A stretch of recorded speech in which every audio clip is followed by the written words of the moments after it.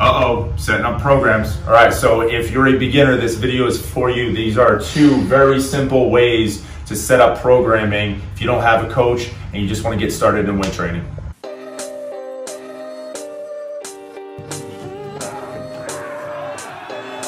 What's up, everyone? I'm Jesse Irizarry here at JDI Barbell in New York, New York, um, and I'm going to talk to you today about programming if you're a beginner. Okay, this is a big passion of mine, and what we do here at JDI is that we have a lot of beginners that come here, right? And I, I help them with their programs, but I also help them understand exactly why they need a program and what exactly is happening, okay? So I'm gonna go over two very simple ways to start programming for yourself if you're a beginner and you don't have a coach. So the first thing that you can do is a very simple wave, okay? So what that means is that we're gonna use the example of a squat, right?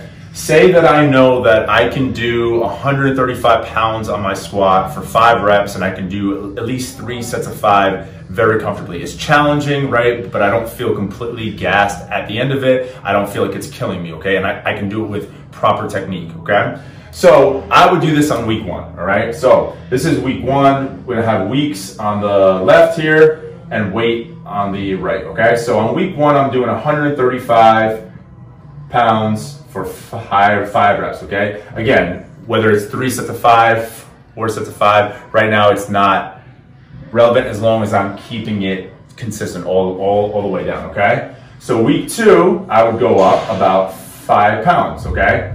Maybe you have to take a bit less of a jump, okay? But if you're a beginner, generally you can take five pound jumps like this each week as long as you make sure that on that first week you're not overreaching too much, okay? So week two, I went up for 140 pounds for a for sets of five, okay? Week three, I do another five pound jump. 145 pounds for sets of five. Week four, I do another 150 pounds for sets of five, okay?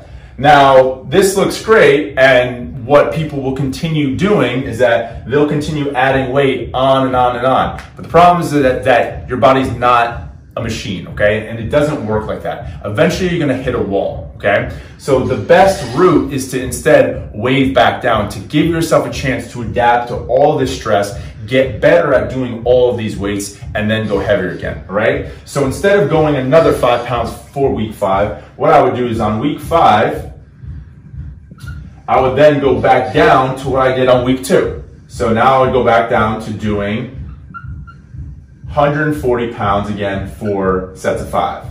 Week six, I would go back up again, 145 pounds for sets of five. Week seven, I'm going back to 150 pounds for sets of five.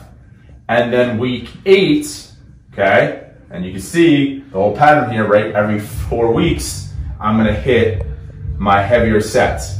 Now I can go up to 155 pounds for sets of five, right? Okay? So it took me a whole nother four weeks to hit that heavier set again, okay? Those heavier weights. But in that time, I'm still getting stronger. I'm still building a bigger base, right? And I'm letting myself, I'm, I'm giving myself a chance to adapt and to actually grow stronger. And if you're a beginner, you can keep following the same kind of guideline, the same wave over and over again for a very long time. All right, so my second very simple way to program for yourself if you're a beginner is doing bi-weekly heavy sets and then uh, in between those bi-weekly heavy sets, doing percentages based off that. I'll show you exactly what I mean, all right? So this is for a beginner who's gone through like a introductory period where they've done like wave loading, like I just talked about, right? Um, and they have a general idea of how to work up to a heavy set, okay? So in this model, what I would do is on week one, okay, I would work up to a heavy set of five, okay? Or, you know, if, if I wanna go a bit heavier, I can do a heavy set of three or something like that, okay? But I do a heavy set of five reps, okay? All right, and I'll use my same example of a squat, okay? I'm doing a barbell back squat. I work up to a heavy set. I take about four sets or so, building on that weight every time, and then I reach my heavy set, okay? Cool. I write that down, I move on, okay? Week two, what I would do then is I would take a percentage of this weight, okay? So say I did 165 pounds for my heavy set of five, okay? Then what I would do is I would take 85% of 165 pounds, and then I would do volume based off of that, okay? So say I did, say this week one day, I just did four sets of five, okay? I took four sets to work up to my heavy set of five reps, okay? So that's 20 reps right there, okay? Week two is my volume week, all right? Based off of that heavy set. So what I'm gonna do is I'm gonna do more sets, okay? With a percentage of that heavy weight, all right? So instead of just doing four sets of five, now I'm gonna do something like five sets of five, okay? At 85% of 165, okay? So the weight that I use is going to be less, obviously, because this is my max, hypothetically, okay? My five rep max, but it's still something that I can doably do, if that makes sense, okay? Because I am taking a low enough percentage, I'm taking enough weight off the bar to do all five sets of five, okay? Then the following week, I will do another heavy set, okay? So I work up to another heavy set of five, okay?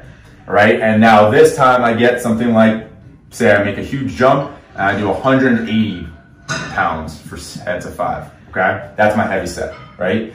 Now in week four, I would do the same thing. I would take 80 to 85 percent. The only reason I say 80 to 85 now is because this is a heavier weight, okay? So doing a bunch of reps at 85% of that heavy weight when you make such a big jump is, go, is gonna be a bit harder, right? So give yourself a fighting chance to make sure that you get all those reps in and get them done well, okay? So now I do my five sets of five, again, off of my, my 80 to 85% of 180.